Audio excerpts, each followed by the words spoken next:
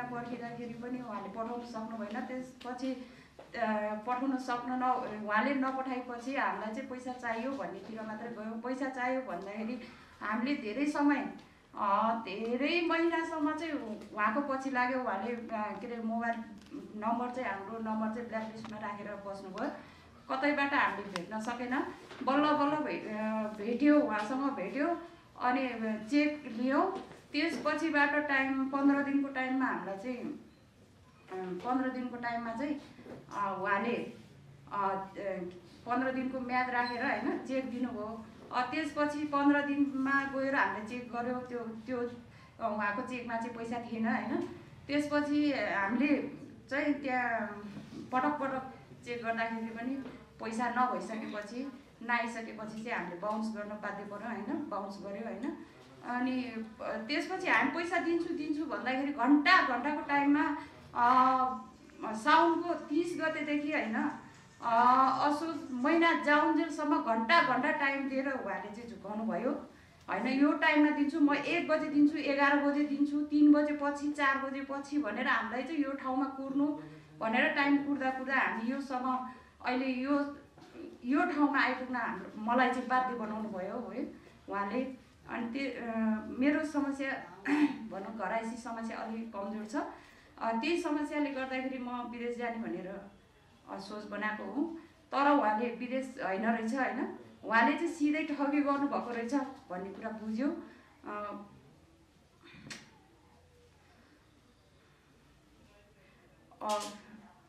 उहाँले चाहिँ अहिले फेरि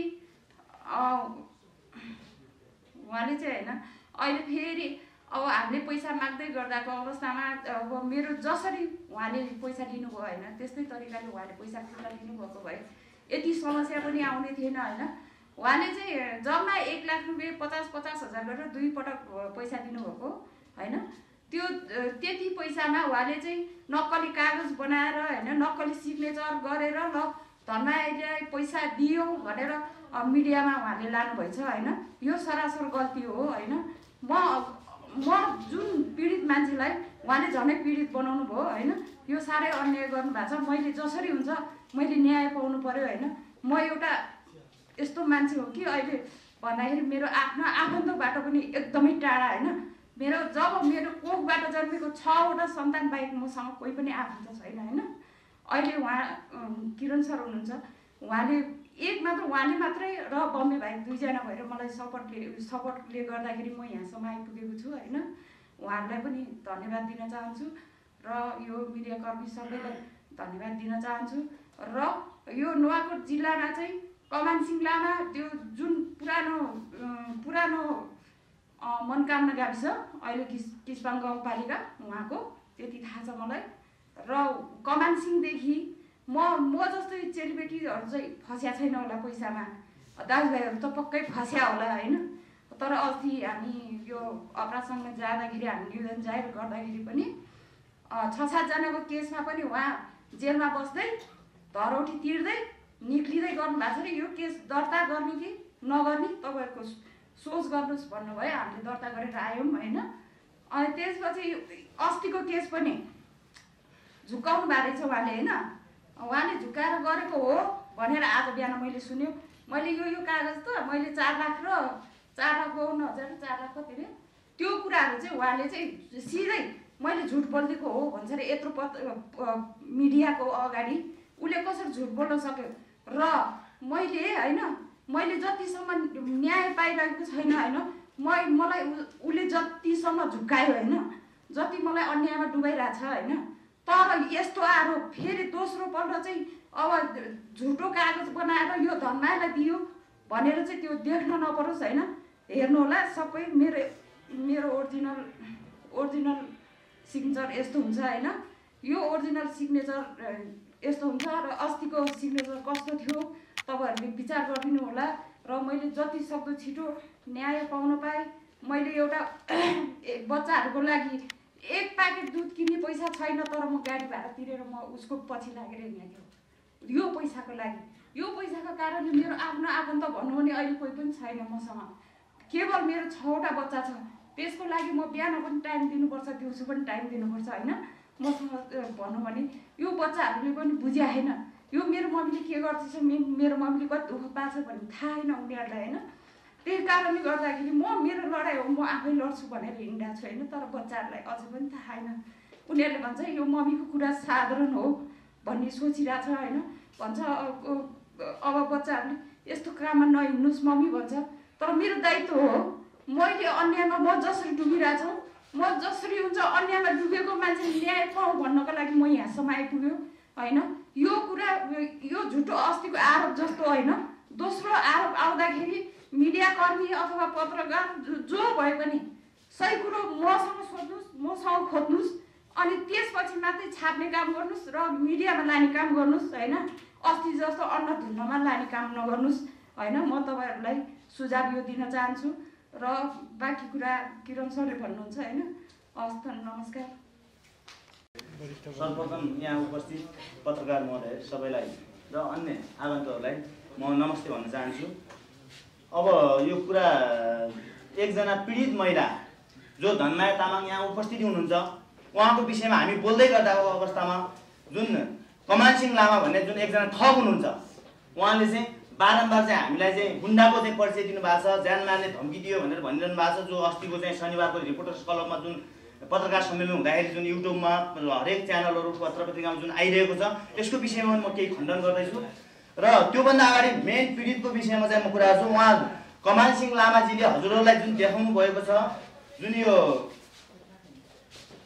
चेक र कागजको विषयमा देखाउनु भएको छ यसलाई चाहिँ अलिक अस्ति पनि तपाईँहरू खिच्नु भएको छ फोकस दिनु होला र उहाँले असोज असोज सत्ताइस अठाइस गते जुन चार लाख बाहन्न हजार रुपियाँ दिएको भनिएको छ जुन त्यो मितिभन्दा पछाडिको मितिमा उहाँले मसँग स्वयं उहाँले चाहिँ त्यो दिएको छ जुन भन्ने रिसिभ गर्ने मान्छेले चाहिँ मलाई यहाँ यसरी चाहिँ म्यासेज गर्नुभएको छ मैले नौ जम्मा पचास हजार मात्रै दिएको छु नौ लाख दुई हजार रुपियाँ दिन बाँकी छ भनेर उहाँले प्रष्ट रूपमा चाहिँ यहाँ लेख्नु भएको छ।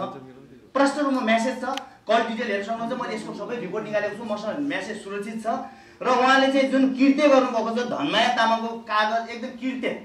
उहाँ ठगी एक त ठग हुनुहुन्छ नुवाकोटकै एक नम्बर नेपालकै नभनौँ नुवाकोटकै एक नम्बर ठग हुनुहुन्छ होला उहाँ। सायद तपाईँहरू चाहिँ उहाँको विषयमा बुझ्नुहोस्। योभन्दा पहिला पनि सेतो पार्टीमा धेरै ठाउँमा पनि आइसकेका छ। बेला बौगा मौगामा उहाँले मान्छे हेरेर कुरा गर्नुहुन्छ। कसैलाई म पारस शाहको चाहिँ आफन्त हुँ भन्नुहुन्छ। कसैलाई चाहिँ म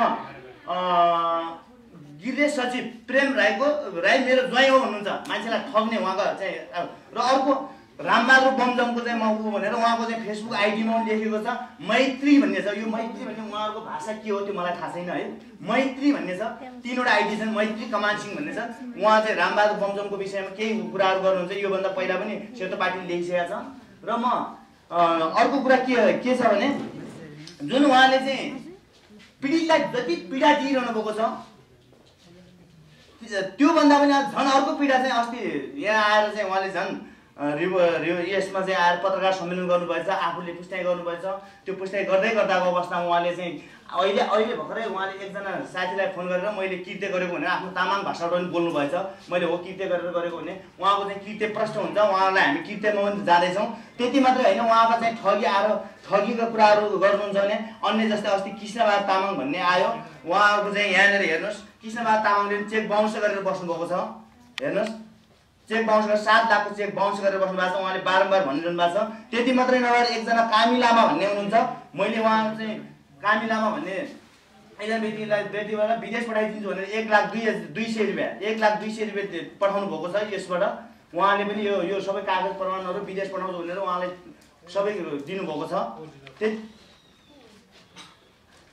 र त्यस्तै चाहिँ उहाँले यो मात्रै नभएर अझ अन्य कुराहरू पनि हामी अब यो जुन शनिबारको कारणले गर्दाखेरि म त योभन्दा अगाडि उहाँको खोज तलासमा थिइनँ सिर्फ एउटा पीडितले न्याय पाउनुपर्छ मात्रै भन्ने पक्षमा थिएँ। र अहिले अब जुन उहाँले चाहिँ पत्रकार सम्मेलन गरिसकेपछि उहाँको विषयमा केही खोज्दै जाँदाखेरि चाहिँ उहाँको एकजना चाहिँ ड्राइभर योभन्दा अगाडि एकजना ड्राइभर हुनुहुन्थ्यो सागर श्रेष्ठ भन्ने। उहाँले मसँग चाहिँ अघि भर्खर कल गरेर चाहिँ मलाई तलब सहित दिएको छैन भनेर उहाँले भन्नुहुन्छ। उहाँको नम्बर म दिन सक्छु। उहाँ पीडित हुन्छ अहिले चुचे पार्टीमा छु म काम गरिरहेको छु भनिरहनु भएको छ।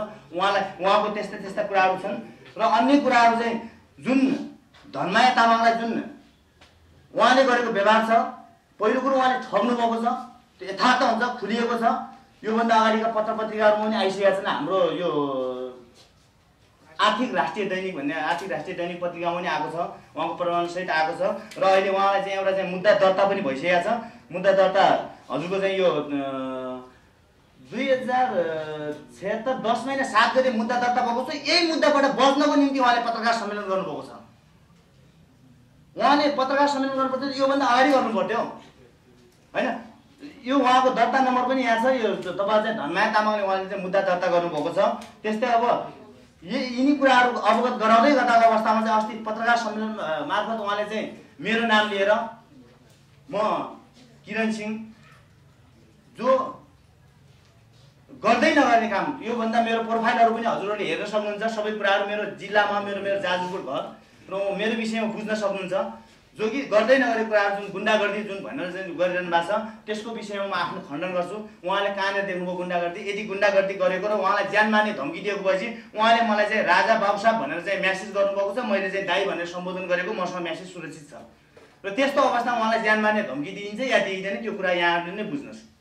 ज्यान मार्ने धम्की दिँदै गर्दा अवस्थामा आफ्नो मेरो पोस्टपेड नम्बर मेरो पाँच दसको नम्बरबाट मेरै नाममा दर्ता भएको नम्बरबाट म फलानु भनेर उहाँकै घरमा भेटेको छु। र वनस्थलीमा चाहिँ फ्यामिली क्याफेमा आएर उहाँले चाहिँ खाना खाएर उहाँ लगायत एकजना हाम्रो अखबार डट कम भन्ने एकजना कमल खुयाल भन्ने भाइ हुनुहुन्छ। उहाँसहित आएर खाना खाएर मासु भात खाएर उहाँले चाहिँ मासु खानुहुन्छ शाकाहारी। र कमल भाइले मासु भात खाएर उहाँ जानुभएको छ खाना खाएर हामीले गरेर त्यसरी गएको छौँ भनेपछि उहाँले कसरी कुन नजरले चाहिँ मलाई गुन्डागर्दी देख्नुभयो? सायद उहाँ आफू त्यस्तो भएर देख्नुभयो होला। अब उहाँ आफै ठग पेसामा लाग्नुभएको छ। उहाँका धेरै कुराहरू चाहिँ ठगी ठगी पेसाहरूको धेरै कुराहरू प्रमाणहरू जुट्दैछु। म जुटाउँदैछु अझै पनि।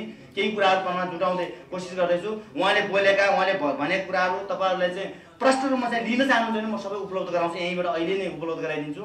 र अर्को कुरा के के अवगत गराउँछु भने जुन उहाँले जुन उहाँले मलाई जुन आक्षेप लाग्नु भएको छ र बमबहादुर तामाङ र किरण सिंह भन्ने मान्छेले मलाई ज्यान मार्ने धम्की दियो। र ऊ गुन्डागर्दी गर्छ उसले चाहिँ यस्तो गर्छ भनेर योभन्दा अगाडि अस्तिको शनिबारमा चाहिँ जुन पत्रकार सम्मेलन मार्फत भन्नुभएको छ। र बमबहादुर तामाङ भन्ने भाइ यहीँ हुनुहुन्छ। उहाँ चाहिँ मेरो चाहिँ म एउटा कन्स्ट्रक्सनको म मालिक हो। कन्स्ट्रक्सनको साइट म्यानेजर हुनुहुन्छ। उहाँले चाहिँ अब आफ्नो काम गरिरहेको मान्छेलाई अब त्यो कसरी गुन्डागर्दी भन्नुभयो। होइन गुन्डागर्दी गर्ने मान्छेले कुन तरिकाले कुन आधारले कस्तो तरिकाले गुन्डागर्दी भन्नुहुन्छ उहाँको दिमागले जति भ्याए त्यति भन्दा ठगका चाहिँ भनौँ न ठगका हजारौँ चाहिँ उपायहरू हुन्छन् उहाँले एउटा ठगेर त ठुलो गल्ती गर्नुभयो गर्नुभयो। फेरि अर्को गल्ती गर्दै हुनुहुन्छ कृत्य गरेर गल्ती गर्दै हुनुहुन्छ?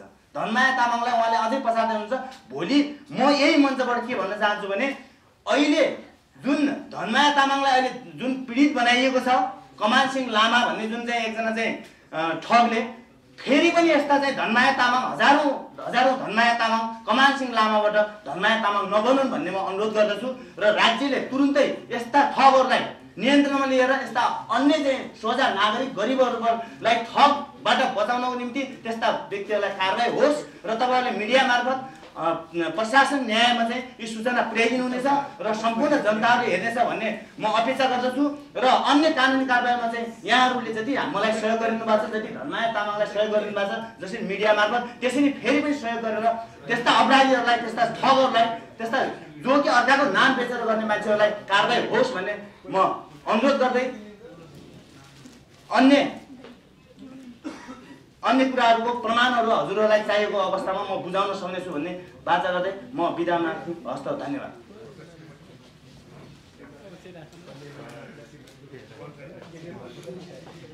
भन्न चाहन्न होइन? कमान सिंहदेखि होइन नुवाकोट जिल्लावासीमा आफ्नो जिल्लाको जुन नेता जस्तो मान्छे होइन जनताको साधन जनताहरूको सेवाको भनौँ मतलब अन्यायमा डुबेको मान्छेलाई न्याय दिलाउँछ। भन्ने आशा हामीसँग त्यत्रो भरोसा थियो होइन। आज हामी जस्तो हामी जस्तो साधारण व्यक्तिहरूलाई डुबाउँदै हिँड्ने मान्छे रहेछ होइन। हाम्रो जिल्लावासीलाई चाहिँ म के भन्न चाहन्छु भने म त जसरी फसेँ होइन अबदेखि एकदम केयरफुल हुनु हाम्रो जिल्लाको जुनसुकै व्यक्तिहरूले पनि अ, कमान सिंहदेखि अलिक टाढै रहेर बस्नु टाढै रहनु होला म भन्न चाहन्छु होइन। यस्तो समस्याको बेलामा मैले केही समस्याको समाधानहरू हुन्छ होला अब पढे लेखेका मान्छे तामाङ जातिभित्रमा एकदमै ठुलो बडा मान्छे म ठान्थेँ होइन? तर उसँग उसँग त्यति त्यति घमण्ड रहेछ र त्यति नराम्रो व्यवहार नराम्रो बानी रहेछ र पो होइन? त्यसले उ सुट कोटमा पनि उसलाई सुहाउँदैन कि म आजदेखि उसको सुट कोटलाई म कहिले पनि के अरे इज्जत गर्दिनँ कि उसलाई म नकाट्छु र उसलाई म थुकेर हिँड्छु कि त्यस्तोलाई त। किनकि म अन्यायमा परेको छु। म अन्यायमा परेको मान्छेलाई नकली कागज ल्याएर थप पीडामा ल्याएर रातारात सुत्न नदिने। मेरो आँसुको धाराले रातारात म के अरे सुत्दिनँ म बोल्छु मलाई छटपटिन्छ। मलाई के आरोप आयो मलाई एकदम टेन्सन हुन्छ होइन? तर म मसँग परिवारमा म यसो म कोसँग भनौँ मेरो दुःख पोखाउने कोही पनि छैन होइन? तर पनि म यहाँ आएर पोखाउँदैछु होइन? त्यसैले यो कमान सिंहसँग एकदम होसियार होस् जिल्लावासी होइन? म जसरी फस्यो अरू नफसुन् होइन? एकदम बी केयरफुल भएर सबैजनाले होसियार साथ अब सबै यो तिन करोड नेपालीले यो पीडा त पक्का नसुन्नुहुन्छ सुन्नुहुन्छ तर कुनैले अब यो केटी मान्छे भएर विदेश जान खोजेर यसरी फसेर यहाँसम्म पुग्यो खुचिङ खाइस पनि भन्लान् होइन? को- कसैले घराइसी समस्या परेपछि यस्तो पनि यस्तो भयो होला भन्ने पनि होला तर होइन म मेरो समस्या नभएको भए मेरो घराइसी समस्या नपरेको भए म विदेश जान पनि चाहन्न थियो म खुसीले रहरले जान खोजेको होइन। मेरो छवटा बच्चा छ म विदेशमा गएर पनि मैले के नै गर्न सक्थेँ र होइन। तर पनि म अब उमेर पनि गइसकेँ होइन। म कम्पनीमा पनि मलाई लिँदैन होइन। तैपनि अब उमेर के अरे उमेर छैन। तर थाहा थाहा छ त्यस्तो हुँदा हुँदै मैले यस्तो उमेरको हैसियतले हुन्छ कि हुँदैन त भन्दा हुन्छ भनेर उसले मलाई फसायो होइन। पैसा मात्रै चाहियो। पैसा चाहिएपछि ए के अरे इन्डियामा कागज गर्नुपर्छ कागज बनाएर ल्याएर एमबिसीमा फिङ्गर गर्नुपर्छ। तिमीले यो फिङ्गर गर्नुपर्छ। हो एक हप्तापछि तिम्रो फ्लाइट हुन्छ। भनेर यो पैसा फसेको तर यो विदेश पठाउनलाई भनेर उसले ठगी गरेको होइन। यसको न्याय मैले छिटोभन्दा छिटो मैले न्याय पाउनु पर्यो। म त्यही भन्न चाहन्छु। हस् त धन्यवाद।